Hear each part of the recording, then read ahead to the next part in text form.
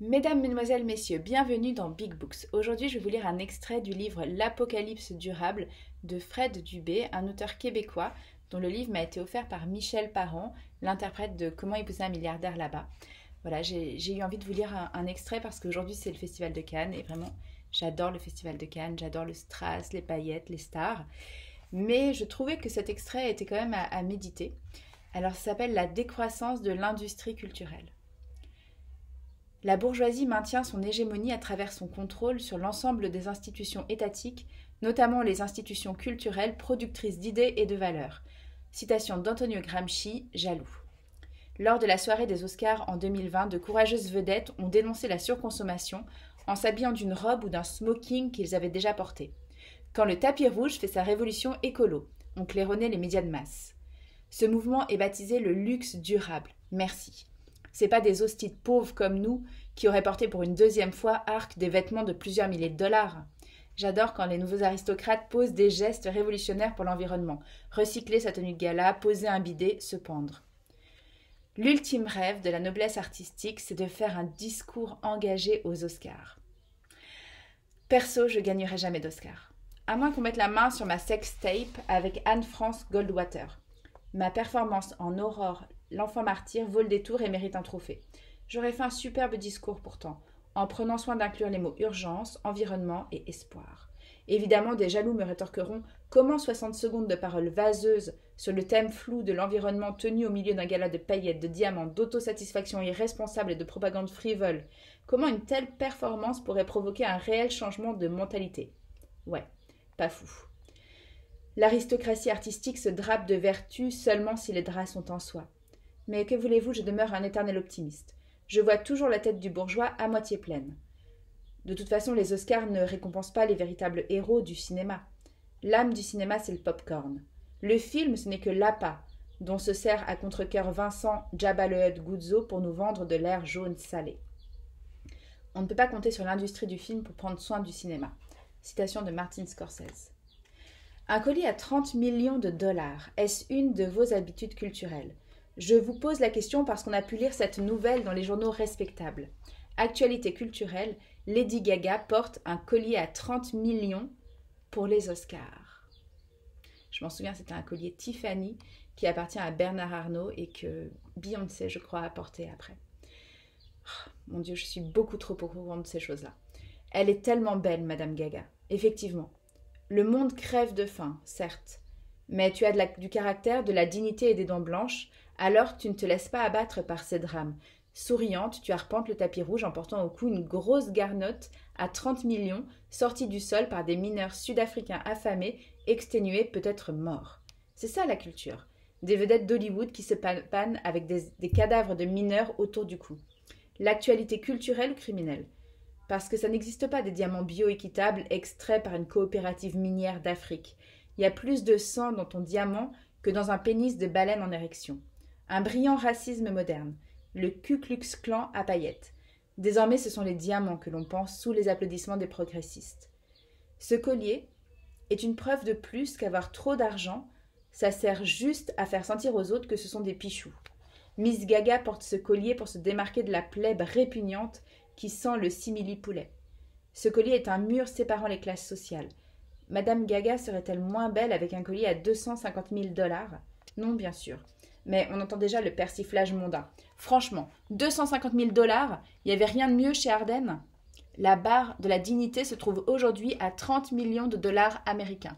Pour impressionner, tu peux plus descendre en bas de ça. Le prochain bijou devra être plus haute que 30 millions. Une belle grosse pépite qu'on transporte dans une brouette. Vive le 7e art. Pendant la cérémonie des Oscars, tout ce qu'on verra dans la salle, ce seront des grosses pierres précieuses lourdement posées sur les genoux des célébrités cachées derrière. Sais-tu ma catégorie? Parce que je vois rien puis je sens plus mes jambes. Bientôt, les bijoux ne sera plus assez ostentatoire. Quels objets rares vont-ils se mettre dans le cou pour démontrer leur supériorité? On va voir des vedettes déambuler sur les tapis rouges avec des têtes empaillées de personnes recherchées par le FBI. Oh, la tête du fils au baron de la drogue El Chapeau une autre célébrité qui porte comme cravate le pénis de Michael Jackson avec ses testicules en boucle d'oreille. Quel look ça sent la jeunesse. Gaspiller simplement des millions de dollars deviendra ringard. La tendance cool sera de lancer à la foule des organes vitaux en santé extraits de leurs clones. Rapidement, ce sera plus assez. faudra trouver encore plus rare et encore plus précieux. Des vedettes se baladeront avec des remèdes brevetés de maladies d'enfants. Que portez-vous? Petite fiole Louis Vuitton contenant l'unique vaccin qui pourrait guérir la leucémie. Oh, vous êtes magnifique, très tendance, so gorgeous.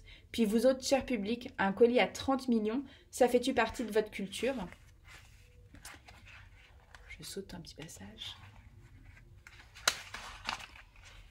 Davantage de côtes d'écoute, toujours plus de pubs, plus de likes, plus d'abonnés Instagram, plus de tournées, plus de prix, plus d'argent, plus de fans, plus de caméras pour ma gueule, plus, plus, plus et encore plus. L'élite artistique est devenue une tribu de buveurs de vin nature et de poseurs sur Instagram. Les valets d'une caste d'édonistes compulsifs.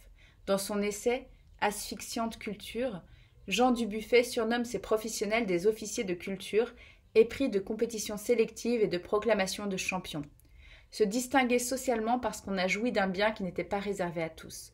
Agrémenté d'un délicieux sarcasme, Pierre Bourdieu, va dans le même sens. Le musée est important pour ceux qui y vont dans la mesure où il leur permet de se distinguer de ceux qui n'y vont pas. L'industrie culturelle est une méga porcherie où des êtres vivants sensibles sont élevés, maltraités puis abattus. Les plus serviles transformés en charognards. Le problème ne réside pas chez quelques pommes pourries, il est systémique, ça dit. Star System, Defend the showbiz. Fondée sur l'inégalité, le privilège et la recherche du profit, l'industrie doit être abolie, pour qu'ensuite notre imaginaire soit décolonisé, et facultativement peut-être pour nous aider à agir et sauver la biodiversité. Mais les technocrates du milieu artistique ne s'engageront pas dans cette voie. Ils proposeront plutôt des solutions éco-efficientes innovantes soutenues par le Conseil des arts, installer des ampoules LED dans les salles de spectacle, retirer les bouteilles de plastique des loges, recycler certains décors, réutiliser certains costumes, acheter un truck électrique pour la tournée et autres petites astuces favorisant le verdissement des consciences. Tout ça pour contourner le sujet délicat du désir. Ce désir de croissance que l'industrie attise en nous. Créer un nouvel imaginaire du bien-être humain dans la décroissance est le geste le plus écologique que peuvent faire les chevaucheurs de bidets engagés. Ton anus rose n'est pas garant d'une planète verte. Le désir n'est donc pas seulement le père de la pensée, il est la source de tous les actes et de tous les comportements créatifs de l'homme. Lewis Mumford. La société te dit d'exploiter tes talents comme elle exploite la nature. Tout ce qui n'est pas exploité pour en faire une carrière en croissance, c'est du gaspillage. Si tu danses, c'est pour devenir danseur étoile. Si tu écris, c'est pour publier un best-seller. Si tu montes sur scène, c'est pour devenir une vedette. Si tu voyages, c'est pour nourrir tes followers sur Instagram. Si tu as un cœur en or, c'est pour faire de l'argent lorsque Robert Gravel, l'homme théâtre, nous parle avec passion de l'esthétique de la guenille dans son processus créatif, il parle aussi d'écologie et de décroissance sans les nommer. Il n'est pas en train de gérer une carrière pour gagner le trophée du meilleur vendeur de billets, non. Il attise mon désir de faire partie de l'aventure de la guenille. Encore plus radical, Jean Dubuffet inventa la notion d'art brut pour désigner les œuvres réalisées par des personnes indemnes de culture artistique, les laissés pour compte, les exclus, les prisonniers, les internés, des personnes obscures ou étrangères au milieu artistique professionnel, n'ayant aucun but sinon de créer pour se libérer. L'art ne vient pas se coucher dans les lits qu'on a faits pour lui. Il se sauve aussitôt qu'on prononce son nom. Ce qu'il aime, c'est l'incognito. Ses meilleurs moments sont quand il oublie comment il s'appelle. L'industrie culturelle, au contraire, enseigne que le jeu, l'imaginaire, le rêve doivent être des activités lucratives. Si des enfants courent dans les champs, leurs performances doivent être chronométrées. S'ils jouent à saute-mouton, un manager doit les diriger vers un abattoir. L'industrie doit tout récupérer. Il n'existe rien de plus inquiétant en ce bas monde qu'un artiste qui admire le soleil, joue avec le vent, cause avec les nuages, refuse de croire que les couilles des producteurs sont gorgées de nectar divin. L'oiseau qui chante par pur plaisir sur la branche et se fiche d'être écouté nuit à l'industrie culturelle. Un gérant doit le prendre sous son aile pour lui apprendre à voler son prochain. Une industrie dédiée à la domestication des masses. La machine culturelle est un long poème qui pue des pieds. Je préfère lever le pouce sur un tapis d'asphalte que courber les chines sur un tapis rouge. À quand la décroissance de l'industrie culturelle Voilà, merci beaucoup pour votre écoute et puis merci à Fred Dubé pour ce livre et bonne remise des prix ce soir. Moi perso, je vais me régaler.